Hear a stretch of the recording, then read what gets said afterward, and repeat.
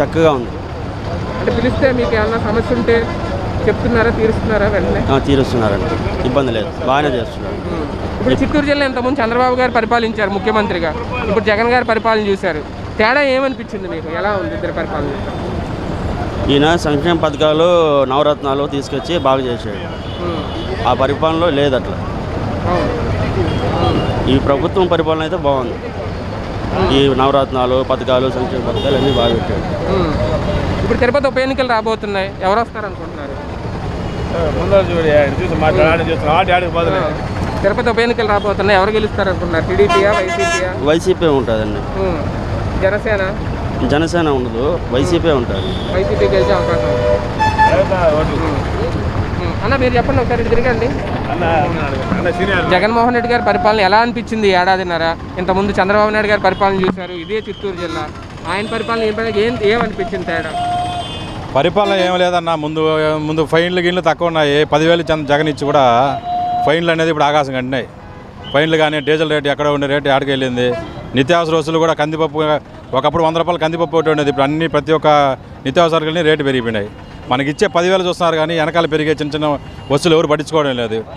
ఒకప్పుడు ఎర్రగడ్డలు వంద రూపాయలు అంటే పెద్ద విషయం ఇప్పుడు ఎర్రగడ్డలే కాదు. బెండకాయ కొనాలన్నా క్యారెట్ కొనాలి ఏ కో ఏ వస్తువు కనీసం కొత్తిమీర కరేపాకు కొనాలంటే కూడా పదహైదు రూపాయలు కట్ట తక్కువ ఇవ్వడం లేదు. ప్రతి ఒక్కటి రేట్లు విపరీతంగా పెరిగిపోయినాయి. జనాలకు కావాల్సింది పదివేలు ఉచితంగా ఇవ్వడం కాదు. కష్టపడడానికి ఏదైనా ఉపాధి కల్పిస్తే కూడా మంచి మంచి ఉద్దేశం అది. పరిపాలనా పరంగా ఓకే మీరు చెప్పింది ఓకే పరిపాలన ఏదైనా నాకు కొత్తగా ఫ్యా- ఫ్యాక్టరీలు గీటర్లు లాంటిది ఏమి రావడం లేదు. ఉండే జరిగి జరుగుతుండే. డెవలప్మెంట్ లేదు. విచ్చలవిడిగా పోలీసులు కూడా ఫైన్లు విపరీతంగా పెంచేశారు. ముందు వంద రూపాయలు ఉండే ఫైన్ ఇప్పుడు ఐదు వందలు వెయ్యి రూపాయలు. ఒక పొరపాటున మాస్క్ పెట్టుకోపోతే కూడా వెయ్యి రూపాయలు వేస్తున్నారు. మన ఫైన్లు విపరీతంగా పెరిగిపోయినాయి. చాలా ఇబ్బందులు ఉన్నాయి మాకు ఆటో డ్రైవర్లు కూడా. సమస్య ఖచ్చితంగా ఉంటాయి జనాల్లో ఇప్పుడు. ఎటైనా ఏ గవర్నమెంట్ అయినా వన్ ఇయర్ దాటిందంటే కొంచెం వ్యతిరేకత అనేది ఉంటుంది గవర్నమెంట్ అనేది. ఇంతకుముందు ముఖ్యమంత్రుల కన్నా ఈ ముఖ్యమంత్రి కొంచెం మంచిదిగానే అనిపిస్తూ ఉంది బెటర్ కాకపోతే నిత్యావసర వస్తువుల్ని కంట్రోల్ చేయగలగాల.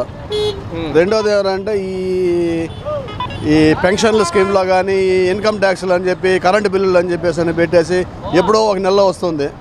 దాన్ని ఇదిగా పెట్టుకునేసి వాళ్ళు ఆ ఒక్క బిల్లే తగులుకుంటుంది వాళ్ళ దగ్గర. వాళ్ళు పెన్షన్లు పోతున్నాయి. చాలా మందికి వెళ్ళినాయి. రేషన్ కార్డులు చాలా మందికి పోయినాయి ఆ విధంగా. దాన్ని అన్ని రెక్టిఫై చేయాలా.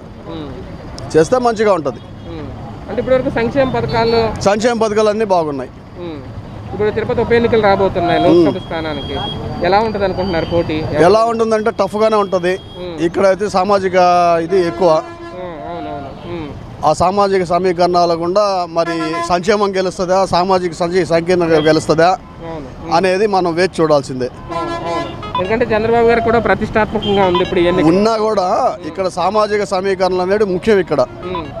ఒక వర్గం వాళ్ళు ఎక్కువ ఉంటున్నారు. కాబట్టి సామాజికంగా గెలుస్తుందా లేదు సంక్షేమం గురించి గెలుస్తుందా? అంటే జనసేన కూడా మీరు అనుకున్నట్టే అనుకుంటున్నారు. జనసేనని అసలు మేము లెక్కలో కూడా తీసుకొని. చిరంజీవి గారు ఎక్కడి నుంచే గెలిచారు? గెలిచినా కానీ వాళ్ళు ఏం చేయలేదు కదా. అందువల్ల. పవన్ కళ్యాణ్ గారికి అవకాశం అస్సలు లేదు. ఉండదు. అసలు? నంబర్ కూడా నంబర్ ఇంకా. ఎవరుంటారు ప్రధాన పోటీల్లో? ప్రధాన పోటీలో వీళ్ళిద్దరికే. TDP YCP. ఇద్దరు ఎక్కువ ఎవరికి అవకాశం ఉంటుంది ఏడాది వైసీపీకే ఉంది అవకాశం. వైసీపీకి అవకాశం. ఉంది. Right thank you